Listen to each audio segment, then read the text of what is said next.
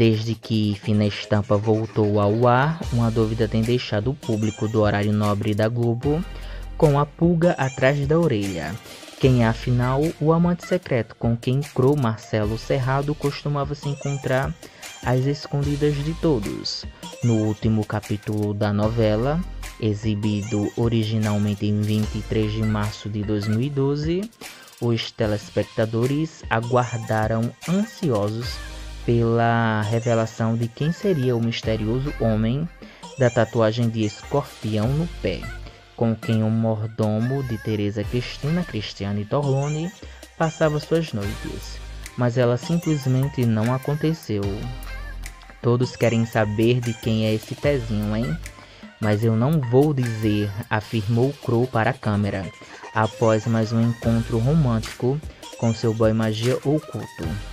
Agora trata de se vestir e sair de mansinho. Baltazar está para chegar daqui a pouco e ele não pode te ver aqui, ordenou o tio de Vanessa ao amante, descartando a hipótese amplamente considerada de que fosse Baltazar o tal Afé.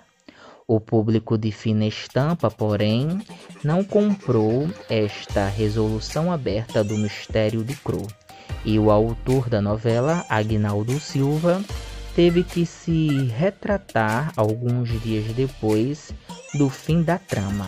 Em participação no programa Encontro com Fátima Bernardes, ele revelou que o amante de Cro era ninguém menos que Ferdinand Carlos Machado, capanga de Teresa Cristina.